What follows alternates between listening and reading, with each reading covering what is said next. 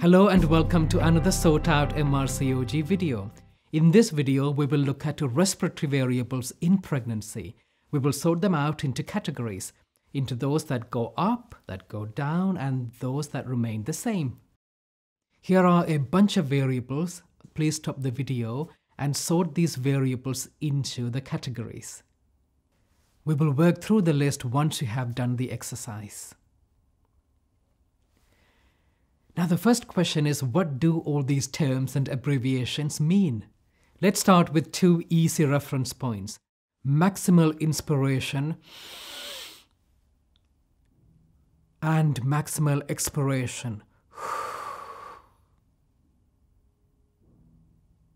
Now, all the air that I just blew out represents the vital capacity. Even after blowing out everything, there is some air in the lungs that is the residual volume. Total lung capacity is the vital capacity plus the residual volume. Tidal volume represents our normal breathing. Minute ventilation or VE is the total volume of air entering the lungs in a minute. You get minute ventilation by multiplying tidal volume by respiratory rate. So, what goes up, what comes down, and what remains the same in pregnancy as the pre pregnancy state? Oxygen tension, minute ventilation, tidal volume, and inspiratory capacity, as well as arterial pH, go up. On the other hand, carbon dioxide tension, functional residual capacity, and airway resistance goes down a number of variables including total lung capacity, forced vital capacity, FEV1, PEFR, and vital capacity do not change.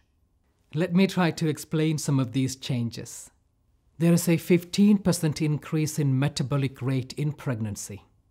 Therefore, there is a sharp increase in oxygen demand this need for extra oxygen is met via a 40 to 50% increase in minute ventilation. This increase in minute ventilation is due to an increase in tidal volume. Now, tidal volume goes up due to an improvement in ribcage movements, as well as due to bronchodilatory effects of progesterone, which relaxes smooth muscles.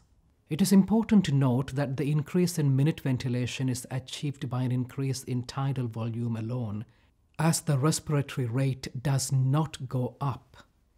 Increased minute ventilation means there is more oxygen in the body, thus, oxygen tension goes up.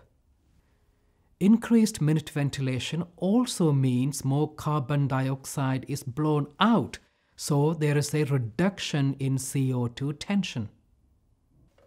Now, also remember during healthy pregnancy, the growing uterus pushes up the diaphragm. The diaphragm goes up by about 5 centimeters. This reduces the functional residual capacity. However, the total lung capacity remains the same. Although the uterus is pushing up the diaphragm, the rest of the thorax enlarges to keep the total lung capacity the same. So that is respiratory physiology in pregnancy sorted. See you in Birmingham for the weekend MRCOG course.